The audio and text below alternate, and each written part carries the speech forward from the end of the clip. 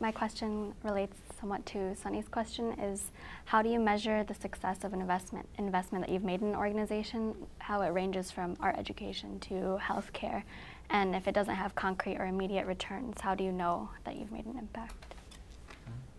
I think that's a challenge with which I've been struggling my entire life, and I think I will continue to struggle. And I balance between statistics, regression analysis, quantitative metrics, and the pulling at heartstrings. How can I say no when someone pulls at my heartstring?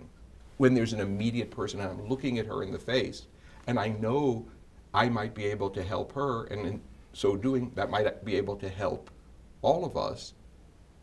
That is beyond statistics. It's the one on one. But without measuring the things where there can be a measurement, I think it's ignoring reality and it leads to tremendous inefficiency. Certain, I find certain things better tend toward measurement. Certain things are more experimental and emotional, and it's sometimes cyclical. What's your opinion in the work that you've been doing?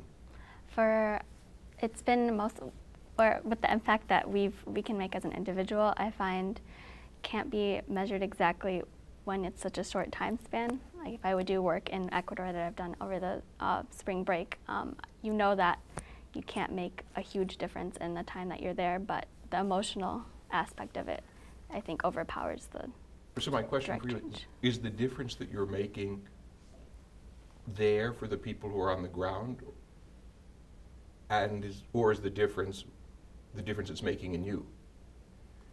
I believe it's a combination of both. Um, their response kind of fosters what um, difference it makes in me and how I change as a result of helping them. I think that's great. And what I found in some of the relationships I built when I was your age, those relationships continue. I'm still in touch with those people. So even a, what seems like a short time, if they feel comfortable calling me and I feel comfortable being in touch with them, and now it's easier and easier to penetrate so much more of the world. Those little steps, it's not the act, in my mind, it's not the finite action of that many days or weeks. It's building a network of trust.